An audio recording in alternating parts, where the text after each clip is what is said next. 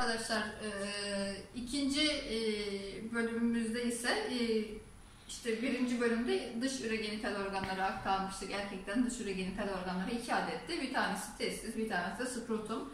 İç ürogenital organları ise e, üç adet olarak sayalım. Bunlardan ilki testisler.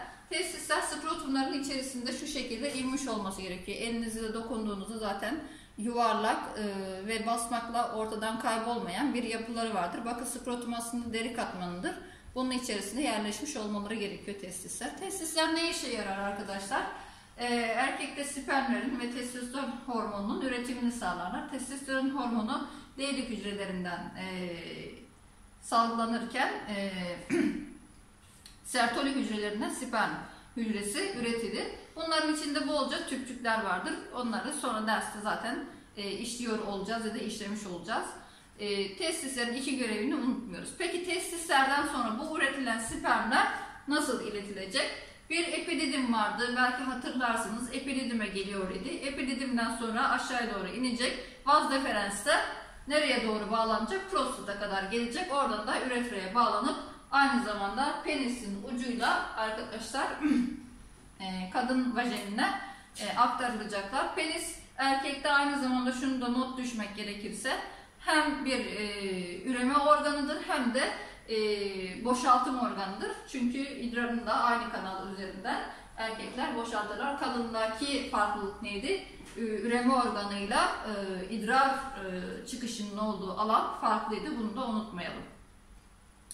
Şimdi bunun dışında eklenti bezleri var. Tekrar sayıyoruz onu. Semina vesicalis. Önce zaten e, üretilen spermler vaz deferensle birlikte yukarıdan e, üretraya doğru iletilirken e, semina vesicalis denilen e, eklenti bezinden e, bir meni dediğimiz e, sıvı üretilir. Bu meninin bir özelliği var. E, cinsel birleşme esnasında e, spermler bu meni kanalıyla, meni sıvısıyla birlikte atılırlar.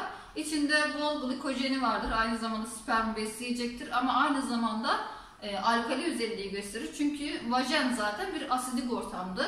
E, meni de alkali ortam olacağı için nötrleyecektir. Dolayısıyla spermin o asidik ortamdan iler, e, etkilenmeden nereye doğru ilerlemesini sağlayacaktır? Vajen ve uterus'a doğru e, ilerlemesini sağlayacaktır. Böyle bir özelliği var. Meni önemli bizim için. İşte bir erkekte cinsel e, birleşme esnasında 2 ila 5 mililitre kadar e, meninin e, salık verildiği söylenir literatüre göre. İşte bu 1 mililitresinde de genellikle 60 ila 120 milyon spermin olması gerekiyor. Buna normal sperm diyoruz.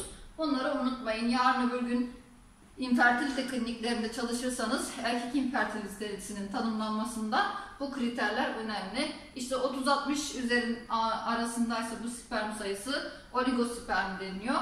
Ee, ama hiç yoksa azosperm diyor ya da ölüyse nekrospermi gibi isimleri var. Onları zaten dersin içerisinde biz işliyor olacağız ama bunları burada iletmiş olalım. Üregenital organlarla ilgili benim sizlere aktarabileceklerim bu kadar erkek üregenital organları ile ilgili. Kadınki gibi uzun ve karmaşık değil, son derece basit ve yalın bir yapılanması var. Teşekkür ediyoruz.